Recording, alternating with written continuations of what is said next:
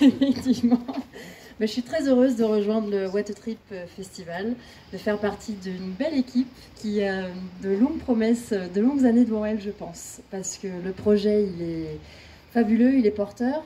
J'en ai parlé euh, juste avant avec euh, mes collègues de droite. Je suis venue ce matin en train. C'est pas que c'est un voyage incroyable, je prends le train depuis que je suis très jeune, mais j'habite dans le nord du Gard, dans une petite commune, enfin de 10 000 habitants quand même, mais qui n'était pas desservie. Et là, le retour du train qui est porté par la région, c'est magique.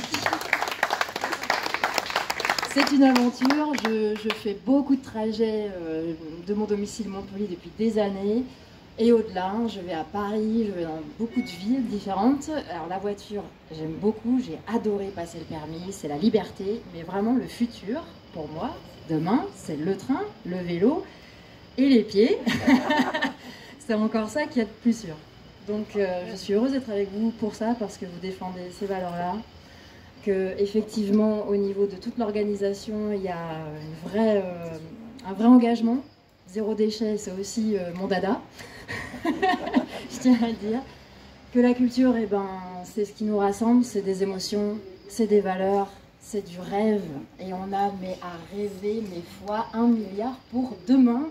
Donc merci d'être euh, un des vecteurs de ces rêves. Et je suis heureuse de participer. À bientôt, très vite. Merci beaucoup.